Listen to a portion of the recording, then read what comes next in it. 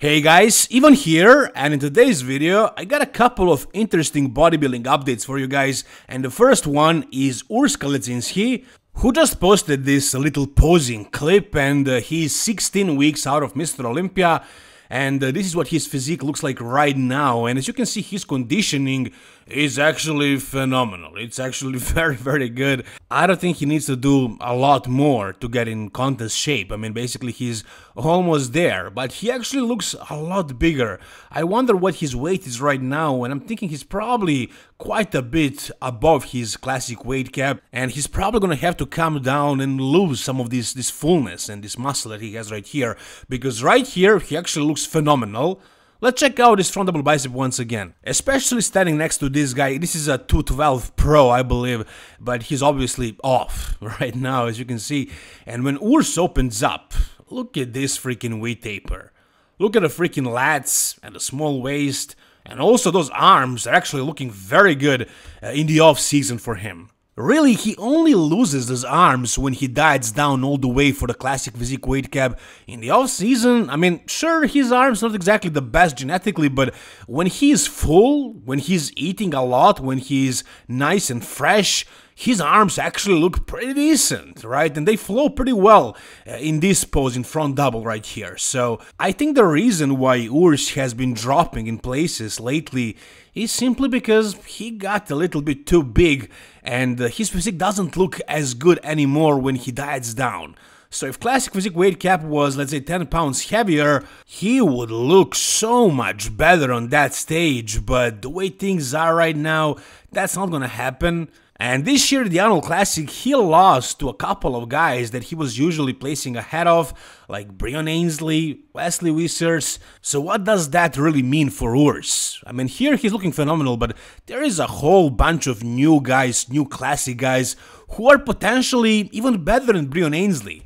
So can Urs Kalecinski beat Brian Ainsley again and place inside of that I mean, I don't know if he can place out of the top three because that's Ramon as well, and then Wesley, and then Chris Bumstead, but can he even place top four at the Mr. Olympia? Can we expect him to improve significantly from this point? I don't know. I don't think we can. And if he placed behind Breon and Wesley, I don't know. I don't know. Maybe this is like the end of an era. Maybe Urs is no longer going to be one of the top guys in classic physique. And there is a whole bunch of new classic physique guys who are all looking very impressive, who are climbing up right now. So Urs is gonna have his hands full at the Mr. Olympia. The way he's looking right now is absolutely ridiculous. This is looking phenomenal right here.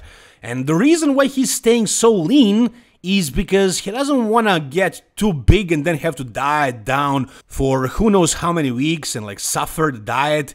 He doesn't need to do that because, again, he doesn't have to grow anymore. He can't grow anymore.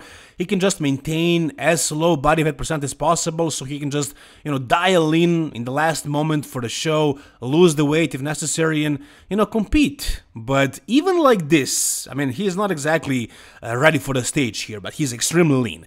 Even like this, at his body fat percent, I think he can still make progress. If his training is on, if he's eating a lot of protein, if he's on gear and stuff like that, he can still make progress. And I think he actually did make progress. I think he's actually bigger now. But in the end, on that stage, we're gonna see the usual Urs Kalecinski without too many improvements, probably a little flatter. And I mean, with that kind of look, can he beat Wesley Vissers and Ramon Dino? Let's not even talk about Chris Bumstead. I don't think so. I don't think so. As far as Breon Ansley, I don't think he should have lost to Breon Ansley, to be honest, but I can see arguments for that. So, I mean, in my opinion, top four, best case scenario. If none of the other guys, new guys, surpasses him. But in my eyes, that's best case scenario, fourth place. What do you guys think? Tell me down below. Alright, the next thing we got is Nathan De Asha basically reacting to his loss at the Flex Pro Italy, and as you probably would expect from Nathan, he doesn't feel like he lost the show. And if you guys watched my videos, you also know that I kind of felt like he probably should have won. I mean, I thought it was extremely close, but I was kind of more on Nathan's side because of his size and fullness. I can totally see why Behruz won this show, but for me, it wasn't a clear cut, not as the scorecard showed.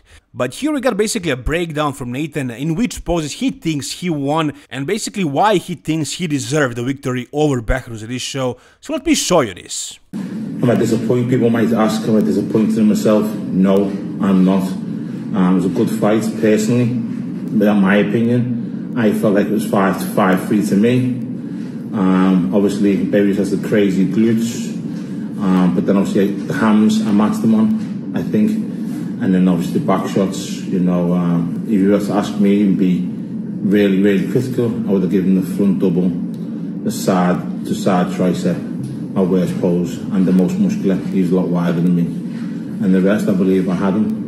Alright, alright, very interesting. He thinks he basically beat him in all the poses, except for front double bicep, side tricep, Nathan's worst pose, and also most muscular. Is he right about this? If you go pose for pose, like yeah, as he says, front double, yeah, it's it's Behruz's pose, but like front lat, I can see Nathan winning this one. I think he did win this one. But as far as winning five poses and Behruz only three, I don't know about that. You know, side chest, that's a really close one.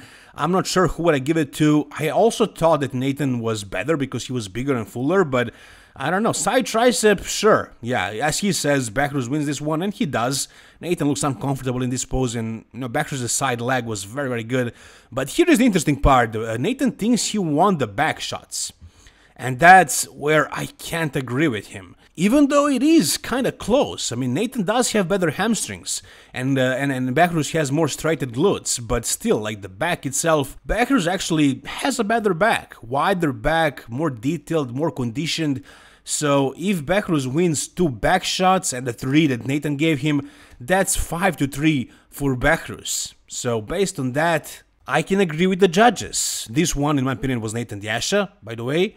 And most muscular, yeah, of course, it was Behruz, but I thought still that Behruz won uh, back shots. So I could consider giving a Nathan back lat spread, maybe, maybe, which would make it 4 to 4. Then you wouldn't look at the poses who wins majority, but like who looks overall better, who brought like more of a wow factor. And for me, I thought Nathan was a little bit more impressive. But again, I can definitely see why the judges chose it this way. Nathan, however, disagrees, which is something you would expect from him.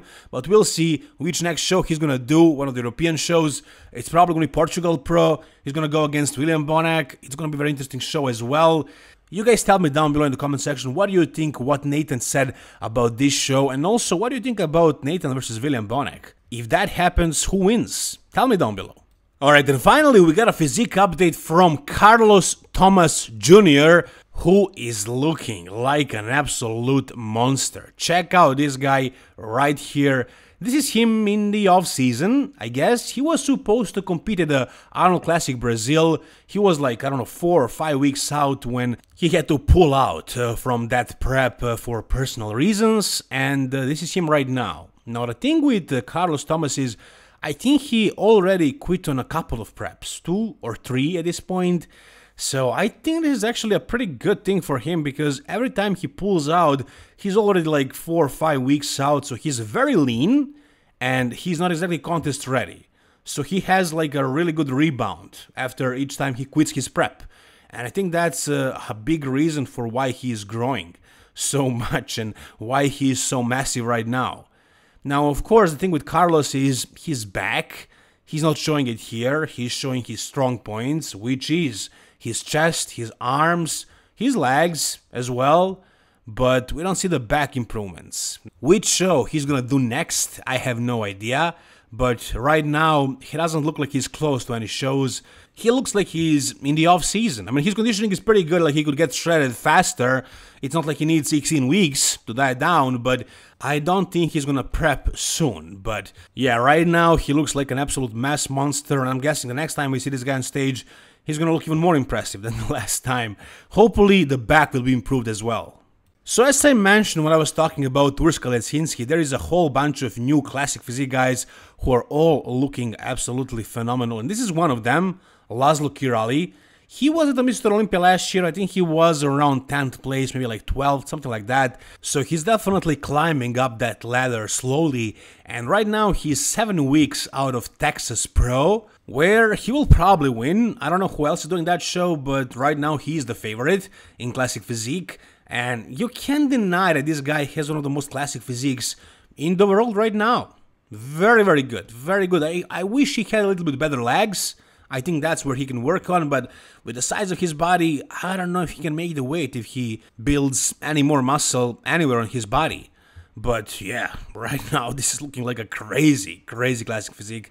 Whatever you guys think, tell me down below. If you enjoyed this video, give it a thumbs up. And for more content like this, guys, subscribe to this channel. Thank you so much for watching. See you soon. All the best and bye-bye.